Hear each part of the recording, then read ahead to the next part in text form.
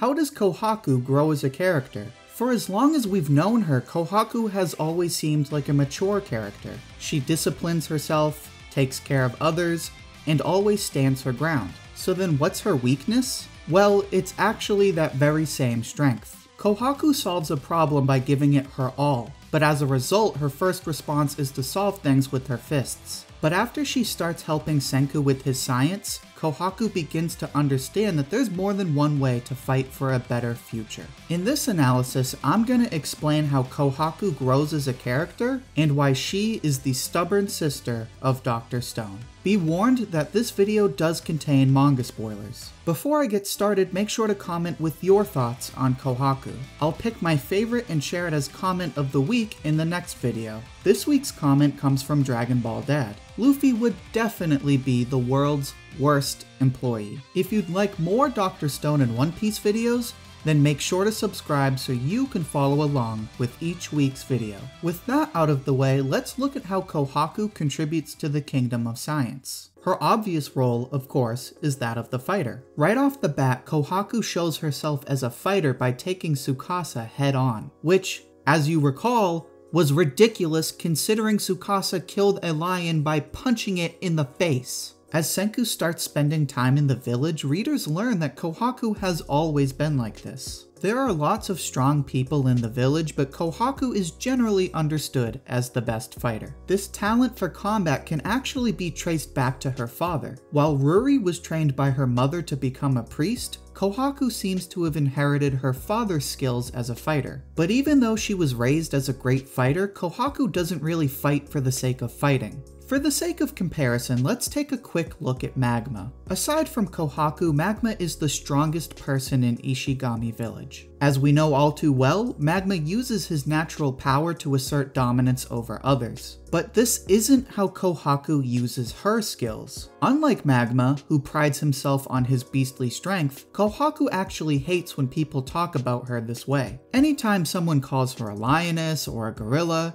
you can guarantee that person's getting some tough love. Kohaku resents these names because she doesn't just fight for the sake of fighting. Although she's a great fighter, Kohaku only uses her skills when she needs to fight for others. And this brings us to Kohaku's second role, that of the sister. Now, you're probably thinking, well, Doi, she's literally a sister. And you're absolutely right. Ruri began her fight against pneumonia from a very young age. While her father was deeply concerned for Ruri, he never bothered to care for her beyond the basic warm towel or cup of water. But Kohaku wasn't content just waiting for her sister to die. For as long as she could, Kohaku helped Ruri by bringing her hot spring water every day. If there was even the slightest chance this could save Ruri, then that was reason enough for Kohaku to go out and do it herself. She also fought Magma in the grand bout so that he couldn't marry Ruri. Kohaku didn't care that this would anger her father. Her only concern was making sure her sister would be safe. In both instances, Kohaku puts the health and safety of her sister before her own needs. Kohaku never considered the cost of her actions. Instead, she puts the well-being of others before her own needs. And as we see later on, this concern extends to all of her friends and family. The best example of this is when Mantle tries to convince everyone that Suika is drowning. It's painfully obvious that Mantle is full of crap, but as Kohaku puts it, she needs to save Suika if there's even the slightest chance that she's in danger. When Kohaku returns and Suika apologizes for ruining her chance to fight in the tournament, Kohaku says that she's just glad Suika is okay. Remember, Kohaku went out of her way to stop Magma from marrying Ruri, but as soon as Suika is in immediate danger, Kohaku puts Suika's safety before her desire to stop Magma. Like with Ruri, Kohaku does everything in her power to take care of Suika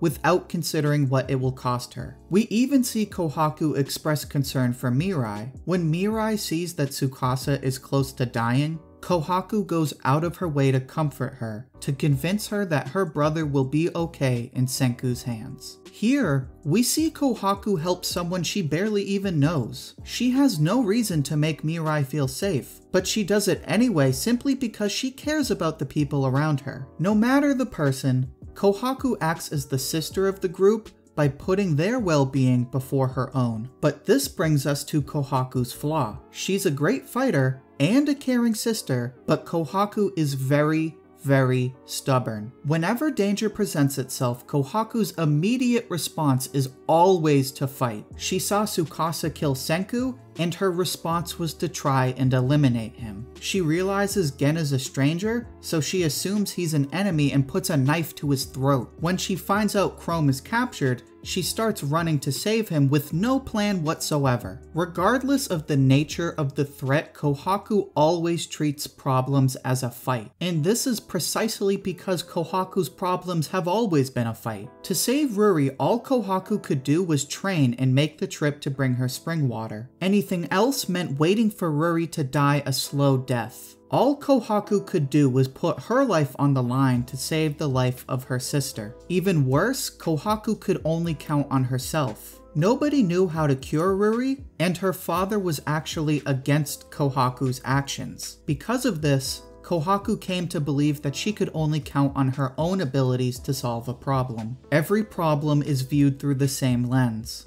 Put your life on the line to save the life of others. Now, generally speaking, this is a reasonable principle to practice. Even Senku practices this by taking risks to save his friends. The problem, of course, is that Kohaku uses this principle to treat every problem like a fight. To paraphrase the common expression, she who is good with the hammer sees everything as a nail. But as we all know, every problem in life can't always be solved by punching it in the face. So then we have to ask, how does Kohaku overcome this stubborn nature? And the answer to this question comes in the form of a certain Ishigami Senku. Before she met Senku, Kohaku could only count on her own abilities. Her father wasn't doing anything to help Ruri, and Chrome's sorcery would never be able to cure Ruri's pneumonia. But when Senku rescues her, Kohaku sees his most admirable trait. Senku kept hammering away at the problem, one step at a time. He had an unwavering conviction. Here, we see Kohaku immediately respects Senku for his diligence. She respects Senku because his diligence in solving scientific problems is fundamentally the same as her struggle to save her sister. They each work towards goals by taking seemingly small steps, even when there may only be a slight chance of success. And it's precisely because they both practice diligence that Kohaku can finally place her faith in someone else's actions. Senku's diligence convinces Kohaku that no matter how ridiculous his ideas might seem,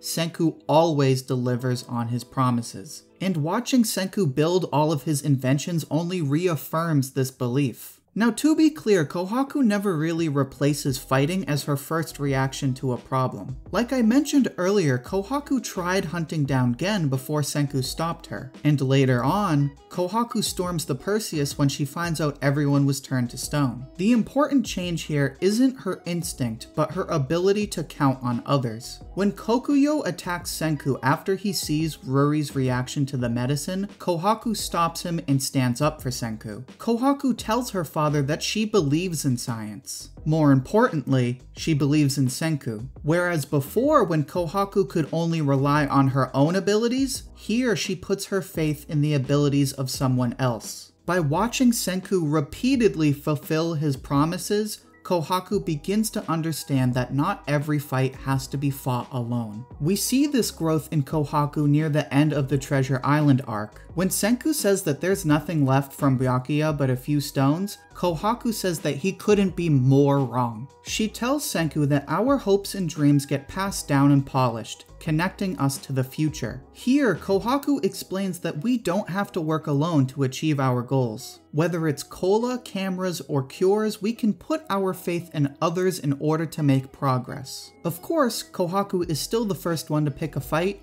but she's come to understand that she never needs to fight alone. Similar to the way Byakuya bets the fate of humanity on Senku, Kohaku realizes that problems are best solved by combining everyone's efforts and working as a team. At first, Kohaku believes that she has to carry the weight of her burdens on her own shoulders. But by working with Senku, Kohaku comes to understand that building a better tomorrow means having faith in the people around us today. This is the story of Kohaku. This is the story of Dr. Stone's stubborn sister. And that's the end of this video. As you can see, Kohaku is a great example of why everyone should read Dr. Stone. If you enjoyed this analysis, then make sure to like the video. If you'd like more Dr. Stone videos like this one, then make sure to subscribe and hit the notification bell for weekly videos. Thank you for watching, and I hope to hear from you soon.